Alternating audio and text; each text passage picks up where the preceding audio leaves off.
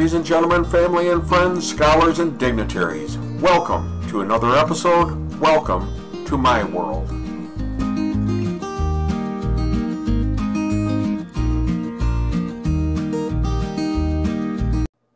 It's a fact that the earth has been inundated with diseases and illnesses for its entire lifespan, and different species of life have been decimated by different diseases. Today, we're struggling with the coronavirus, and it's been a terrible disease. It's infected over 110 million people, leaving over 3 million dead in 223 countries and territories, and who knows what the future will hold for mortality and morbidity with the many variants and mutations we're now seeing. But there are many other pandemics we suffered across the world as well. The Antonine Plague was a pandemic that affected Asia Minor, Egypt, Greece, and Italy, and was brought to Rome by soldiers around 165 AD. And unknowingly, they had spread a disease that would end up killing over 5 million people and decimating the Roman army. The bubonic plague was thought to have killed perhaps half the population of Europe, and the plague of Justinian was an outbreak of the bubonic plague that afflicted the Byzantine Empire and Mediterranean port cities, killing up to 25 million people in 541 AD. The Black Plague from 1346 to 1353 ravaged Europe, Africa, and Asia, with an estimated death toll between 75 and 200 million people. The 1918 influenza epidemic ended up with 25 million deaths in just the first 25 weeks, and with a mortality rate of 10 to 20 percent, it killed up to 50 million people.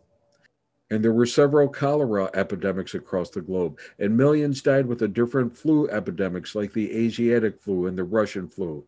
And let us not forget smallpox, which was one of the absolute worst pandemics we ever had. It had a 20% fatality rate and killed an estimated 300 to 500 million people before it was eradicated in 1977. So these are the diseases, the epidemics that most people know about and fear because, except for smallpox, we continue to have outbreaks of them throughout the world. However, there's another epidemic that no one realizes and pretty much no one fears, but it's growing and intensifying, and yes, it can be deadly. In June of 2019, the World Health Organization released a report that everyone suspected, but probably didn't believe and certainly dreaded. Every day, according to WHO, more than 1 million people are infected with a sexually transmitted disease. In 2016, WHO estimated that there were 376 million new infections, with one of four people having a sexually transmitted infection. One in four, either chlamydia, gonorrhea, syphilis, or trichomoniasis. More than 500 million people are living with genital HSV, herpes infection, and an estimated 300 million women have an HPV infection, the primary cause of cervical cancer, and an estimated 240 million people are living with chronic hepatitis B globally.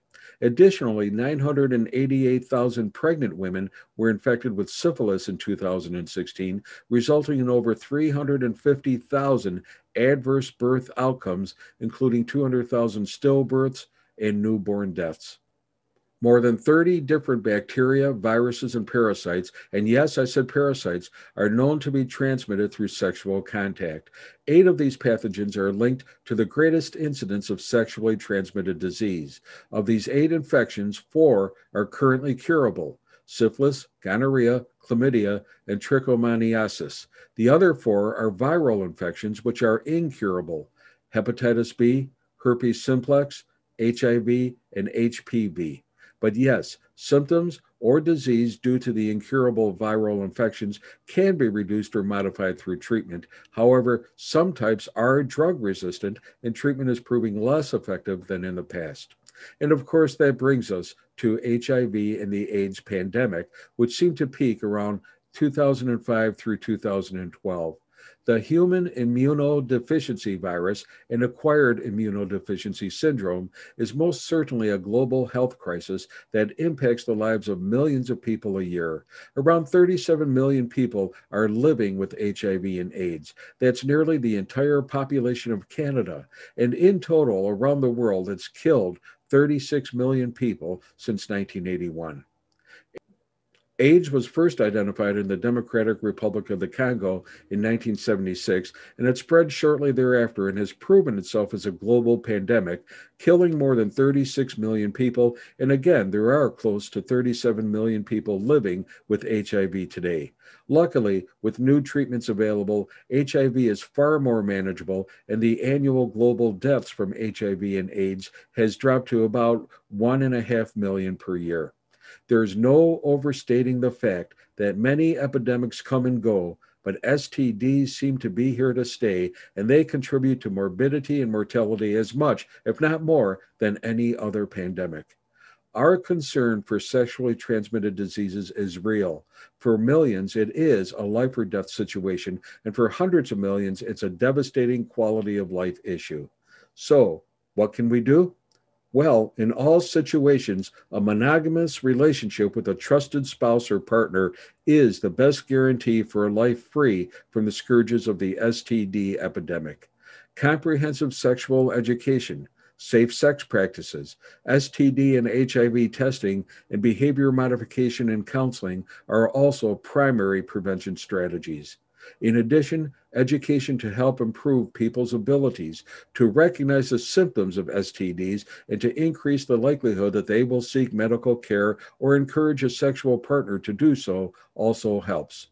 Unfortunately, globally, there is a lack of public awareness, and in addition, people are impulsive and too often reckless about sex, and that sets the stage for rampant transmission of STDs. Hey, be well be safe, think. If you remember anything, remember that every day more than 1 million people are infected with STDs. Use your head and may God bless.